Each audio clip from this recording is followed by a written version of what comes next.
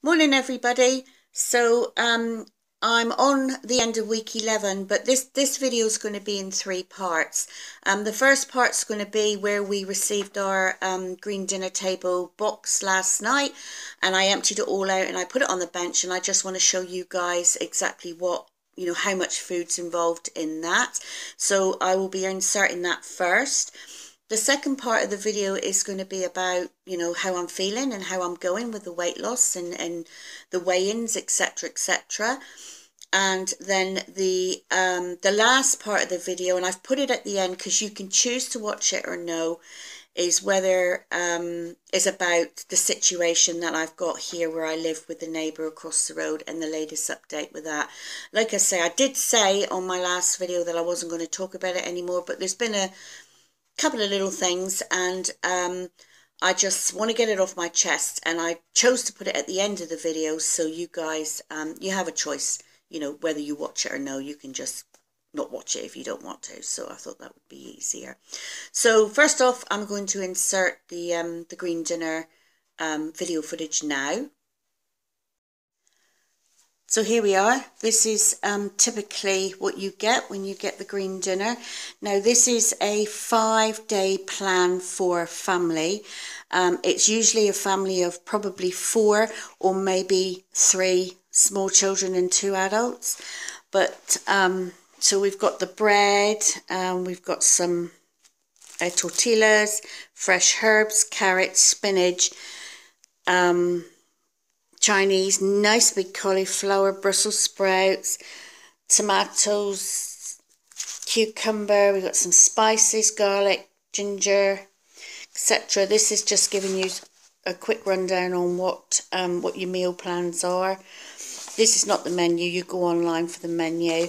Here's the noodles. Um, we've got potatoes and the potato bags are colour coded so we know which ones to use for which meal.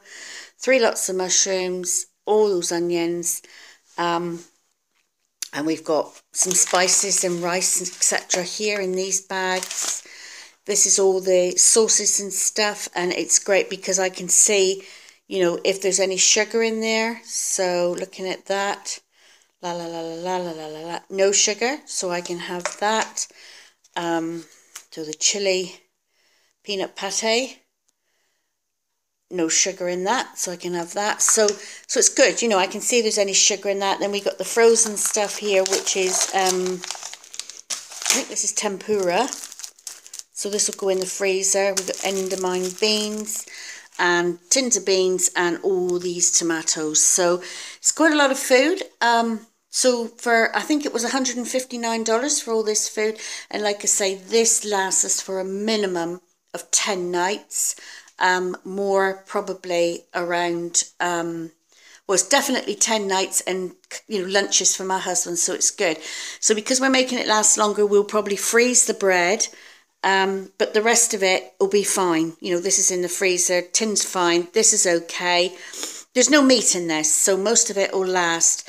Um, the mushrooms will go in the um, in the fridge and yeah this will all last really really well. And what I'll do is I'll use the men I'll do the menus things that I think are not going to last you know for the fortnight I will use up that those goods first. So yeah so it's very exciting. So that gives you some idea of what we're going to eat over the next couple of weeks. Looks a lot doesn't it? But it's all healthy stuff. All really healthy So as you can see, it's it's a fair amount of food. It's all good stuff. And um, yeah, so we'll be making all our lovely delicious meals with that this week.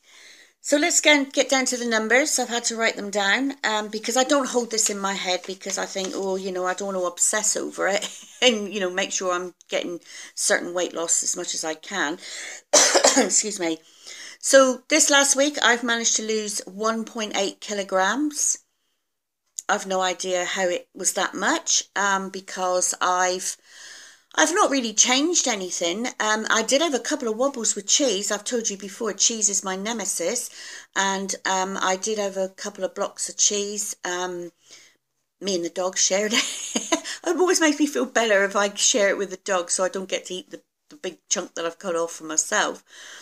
Um, and um, so now I've I've lost a total of 15.3 kilograms. So I'm halfway in my sort of goal that I set myself at the beginning, which was 30 kgs in total. Um, it's a loose goal. It's not a goal that I have to reach. Obviously, I would like to reach that because I think that will be a much more healthier weight for my frame. I've got a small frame and I am only five foot two in old money. I think it's 1.53 in, in metric size. Um, so I feel that I do need to be a lot lighter than I am. So I'm going to stick with that 30 kgs. But if I don't get there, I'm not going to stress about it. I feel much healthier. I'm able to move about a bit more. I do get aches and pains. I'm 57 years old. I'm bound to get aches and pains. Um, and, you know, my own knee plays up and my back's been playing up lately. But, you know, at the end of the day, I feel so much better. I'm able to move. I'm able to, um, you know, do a lot more physical stuff. I feel that my physical strength has come back as well. And, um, and I've got a lot more energy, a lot more energy. Um, so this last week's been a little bit of a funny week, as you know, with him across the road. Um, but so whether I I ate less because I was ruminating on that, or whether I just I don't know. I don't know. You know, I had the meals the same as normal. Um, I've sort of got into a more of a routine around my lunches. I do tend to stick to the same breakfast and the same sort of lunch every day. Um, so maybe, maybe that's you know that's it. I've I've no idea. But whatever I'm doing, it's working. I'm not starving, hungry. I'm not, you know. Um, I think when I do get the urge to eat something or that I want something, it's not an actual hunger. It's more a habit. Um, or a stress eat thing, you know, and I need to, I need, that's the bit I need to break. It's like, you know, I, years ago, years ago, I smoked and it's very much like that, you know, you, you, you picked up your cigarettes and you smoked your cigarettes and a lot of the time it was purely out of habit, um, more than, um, craving for one. So, um, I suppose it's a bit like that. I've also noticed that my sugar, I mean, I can instantly taste sweet things and what's got sugar in them. Um, what was it? My, my husband brought him something the other day. Oh, it was one of the green dinner little um, mixes, you know, uh, sauces that you put with the thing. And I just put my finger in it and tasted it without reading the lid. And I said, oh, that's really sweet. And I looked at the lid and sure enough, it had sugar in it. So I didn't have that on my me- on my meal. I, I avoided that. So Sugar free is going very, very well. Um, I have had a couple of um, wraps and they've got sugar in them. So I suppose you could say that was a bit of a cheat. Um, but I had that once. You know, I had two wraps and I had it last night for my for my main meal. And um, it's what I bought and I didn't realise it would have sugar in. In fact, when I went to the supermarket um, the weekend and I looked around, I just, everything. I'm just so shocked at how much, how many foods have got those. And I'm talking processed sugar here. I'm not talking um, natural sugars. Um, how much stuff has got added sugar and you really don't need it, you know? It, it, it's, it's bad. Um, so I'm I haven't had meat. I haven't had meat for some time. Um, so and I don't I don't miss it. Um, you know, and if I was to get if I went to anywhere and somebody cooked or whatever for me, I would eat it. I, you know, I don't. I'm not a staunch vegan. You know, where I can't eat any animal products. I'm, I will eat it, but I prefer to stick with this particular diet for now until I get to you know my thirty kgs. So yeah, um, the oh, and the other thing I noticed was um, I've started putting clothes on that I've buried, you know, way down in the pile that now fit me. So the top of the pile is now too big. So I've started got I've got quite a pile now ready for the charity shop. So I'm going to make my first charity run with my old um, larger clothes so somebody else can enjoy those because some of it is is nice clothes. There's nothing wrong with it. Um, so that feels really good. I'm sort of getting rid of the old larger clothes. So that's another step in the right direction. And my husband, bless him, he said to me, Would you like me to take some of it in for you, dear? and um, men won't understand that. Uh, no, I just want to get rid of it. Um, I have got a lot of clothes, so it's not like you know, I've got a shortage of clothes because I, I haven't. But I said, oh, um, thank you anyway. But no, that's fine. I'll, I'll, you know, I'll just get rid of it. they just, they just don't understand. So their brains think differently than us, than us. so, um, so anyway, that's fine. So, excuse me. Still got this wretched cough. Um, it's getting a, a lot better. Um, it, it's more when I talk, you know, if I'm talking for length of time that it, I start to cough, get a bit of a dry throat. But I've got my gastroenterologist appointment tomorrow where I have my thing done, my camera down, and have a nosy around in there, and then hopefully um, he'll, you know, suggest. Well, my doctor seems to think he's going to. Yes, you're going to have surgery, so. Um, hopefully, and a simple procedure apparently. So hopefully, I'm going to get that done and then um, you know that's going to solve um, some of the problems around you know the stomach issues that I'm having. Um, so yeah, so that's everything on the um, on the weight loss program so far. Um, it's still going okay. I'm not struggling. Um, like I say, a couple of times in the week, I think I'm allowed that. I do have some gum here. I can chew gum. And like I say, I had a couple of um, cheese wedges slip ups, shall we say. But, you know, it is what it is. So if you don't want to hear the next part of the video, um, I'll say bye for now and thanks for watching um, because the next part of the video is going to be about the situation across the road and what's going on with, um, with the neighbour. So, the neighbour situation. Um, it's all been fairly quiet on the Western Front, shall we say. There's been no incidents apart from on Saturday morning. Um, was it Sunday morning? No, I believe it was Sunday morning. Um, my husband and I went for a walk. Well, I went out first and I went down towards the river. Well, we haven't been down towards the river for some time because it's it has been quite muddy down there, but it's dried up enough now to walk down there. So went down towards the river, me and the three dogs and walking along. That's great. And then I got down to the end, turned around to come back, and I saw this person coming down on a quad bike, and immediately my heckles are up. I'm stressed. You know, I get I feel myself tensing and thinking who's that? Because, you know, he goes around on his quad bike quite a lot. And then I, as it got closer to me, I could see it was a red quad bike and he's got blue quad bikes. And I realised it was my husband on our quad bike, which was fine. But the, you know, my initial reaction was because he would have trapped me down there. You know, there's nowhere to go at the end, only onto the riverbed, which is dried up now. But I didn't want to have that situation where, you know, he was getting that close to me. So, you know, it, that didn't happen, which is great. It was my husband, which is fine. And so when my husband caught up with me, that's fine. You know, the dogs were fine. So my husband said, Oh, do you want to go back on the quad and I'll walk back? And I said, Oh, okay then. So I got on the bike and I'm driving back up and I get to where the, it turns into the public road. And I saw him across the road come out of his drive in his car and he went up to his land where the original incident happened, he turned around and he just sat on the driveway up there.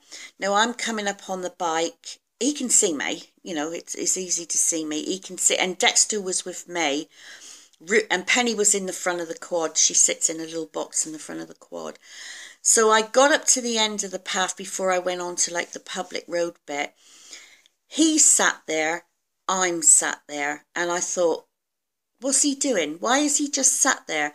So I got off the bike because I realized I had my camera on at that point and I'll show you the camera. So I had to go and get the camera. So this is the little camera. It's a really nice little camera. I'll turn it on and show you.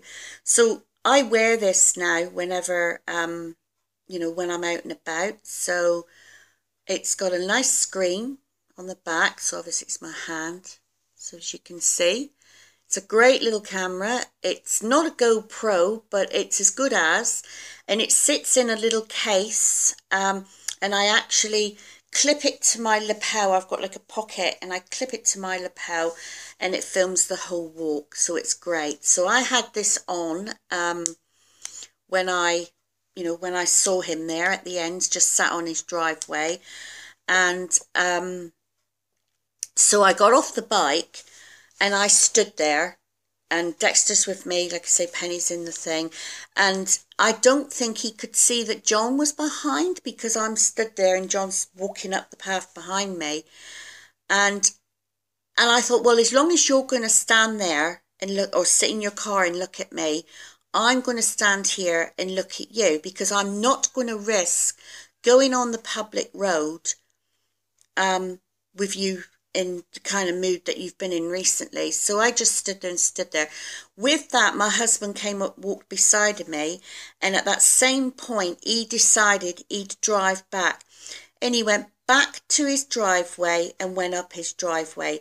Now, I can't see any reason why he would have done that. You know, I mean, you could say he was going up to check his sheep, he never does that. He's ne- until the incident with my um, with the dog. Um, he never did that. You people got to rem- remember that I have lived here five years, and in that five years, I have walked my dogs morning and night, and I I get you get to know people's little habits, and I can tell you now. He has never done that prior to the incident with the dog. He's done it many times since, but he never did it before. So we can, or I can only conclude from that, it's an intimidation tactic.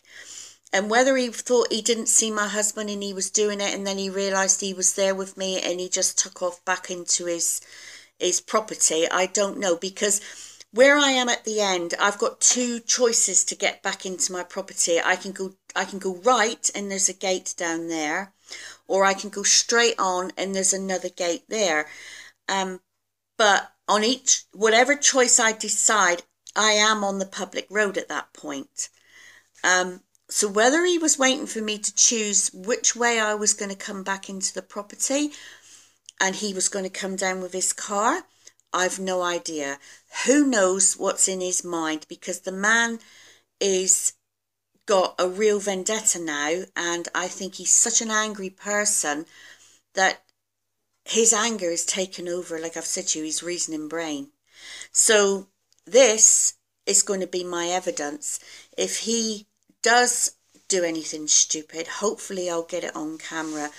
This will record, uh, we've got a, only a small SD card in here currently, but we're in the process, we're waiting for a new SD card to come, a 32 gig. There's only a, I think it's a, a, a 4 gig or something like that in here. So when that comes, it will record, you know, hours of footage because um, it's whatever fits on the card. And then I transfer this footage onto my tablet here and then I can watch it and if there's anything looking anything looking suspicious then I can keep that and that'll be my evidence. It's also time and dated stamped automatically so I don't have to worry about any of that. So um, that's what I'll be doing from now on and I feel it's a sad situation. You know, like I said, I've been living here for five years or nearly five years.